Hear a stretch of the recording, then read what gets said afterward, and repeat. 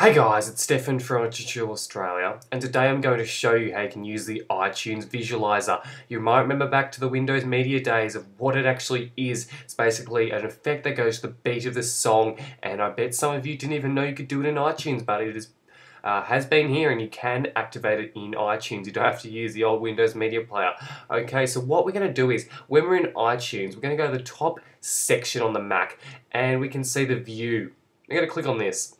And if we go down, we can see Show Visualizer and Visualizer itself. So in the Visualizer category, we can change depending on which one we want to use. We got the iTunes Visualizer, we got the Classic, we got the Sticks, the Lathe, and Jelly.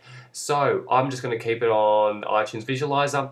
And if we click Show Visualizer, then we can see it begins and all you have to do is start a song and the effect will go. So I won't spoil it for you. Go start a song, click the visualizer and check it out for yourself. So remember, interview, choose your particular visualizer, go through the ones you like. I personally like the iTunes visualizer and then just click start and play a song and you'll see and might remember back to the old days of listening to music where you would just listen with this on your screen but today there's a lot more media and videos but this is just a good uh, effect just to keep if you're using just music on the screen.